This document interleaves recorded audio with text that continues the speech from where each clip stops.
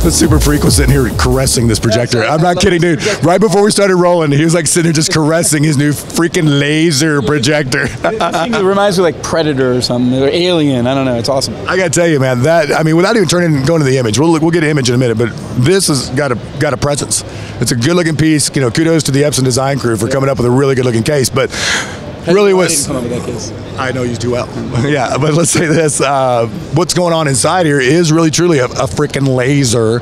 So let's talk about what this does for the consumer as far as lamp life and hours and picture quality. Yeah, it's a it's a it's an amazing uh, accomplishment. It's taken, frankly, a number of years to accomplish this. We we've been producing 3 LCD reflective uh, technology. Remember, we're the makers of 3 LCD technology, so three chip, 3 LCD technology. Uh, but most of our projectors are transmissive technology. These are the first reflective technology projectors um, that we've come out with. So these are 3LCD reflective. It's a little different than the liquid crystal on silicon projectors that other manufacturers have. This is liquid crystal on quartz. If you remember, Seiko Epson is our company, so I've heard of those guys. Yeah. yeah, yeah, yeah. So Seiko kind of made had his foundation in quartz. We have our substrate in quartz. Kind of cool. Um, but By the way, I want to appreciate the watch you gave me for Christmas from the. Uh, that's it. I'll get you one of those. No problem. um, little shameless plug there. clearly, clearly, I'm getting a watch for him for Christmas.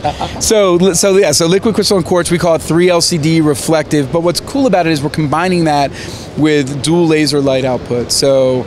Um, the, this is a lampless design.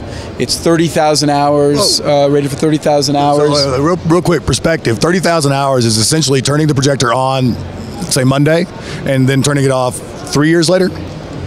Something like that. Yeah. on the math, on the math, but with with normal usage, even an a- avid user, you're going to have this until the holographic uh, TVs come out yeah. sometime in 2042. Yeah, so you're you're okay on time. That's one of the exciting things about this. Um, but it's now, I'm sorry to interrupt, but but it doesn't dim, right? I mean, it's always a consistent.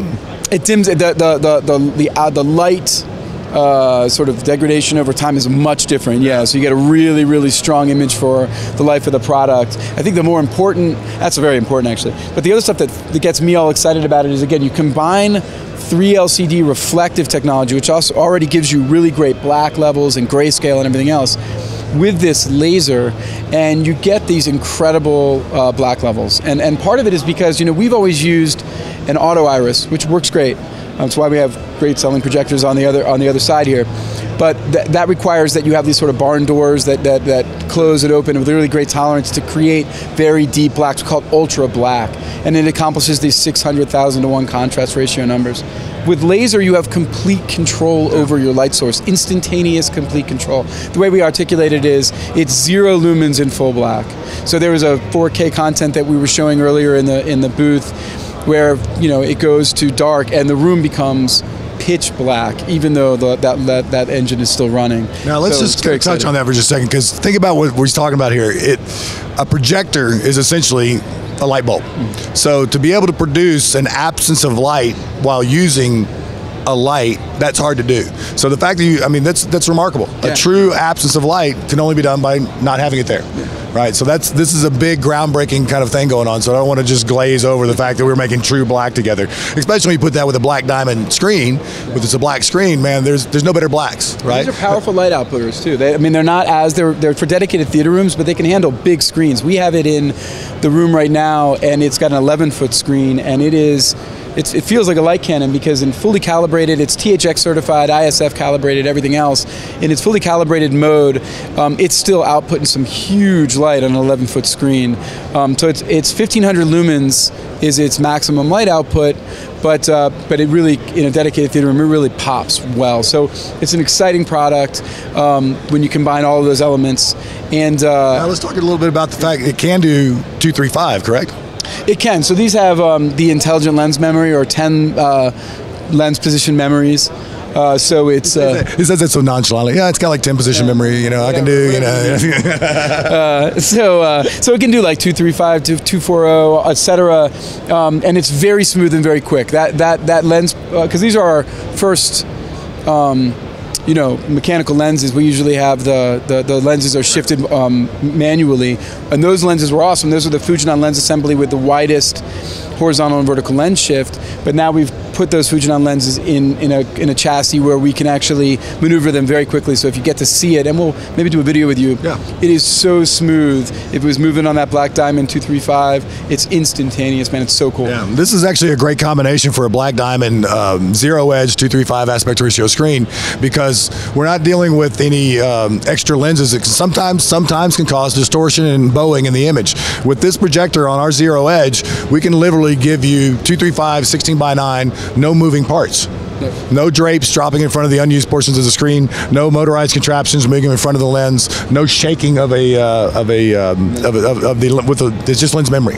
So it's a beautiful way to get the best of both movies and television because you know a lot of people don't think about the fact that the director did it you know pick the 235 aspect ratio for a reason right we want to be pulled into an experience and the, so the 235 movie experience is very very different than just you know having just 16 by 9 only. And the great thing about doing the, the 235 with a zero edge and the epson laser projectors is this.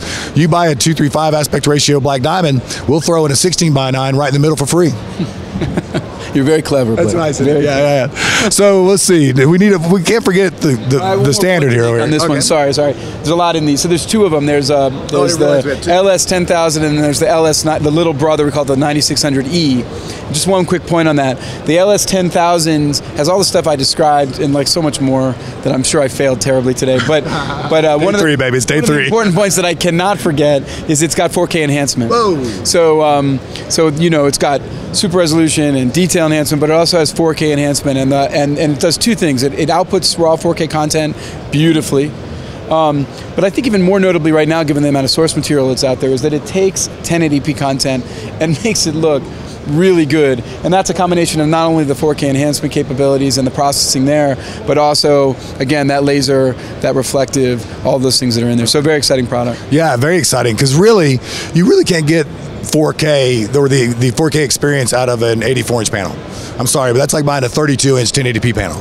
It's 4K was designed for professional movie cinema houses to be 40 foot screens, not 42 inch screens. So this enhancement really if you will, shines on the bigger screens. So think about 120 inch diagonal 16 by 9 or 150 diagonal uh, 235 and again because of this 4k enhancement you can actually think from a dealer's perspective we can actually add another row of seats closer to the screen.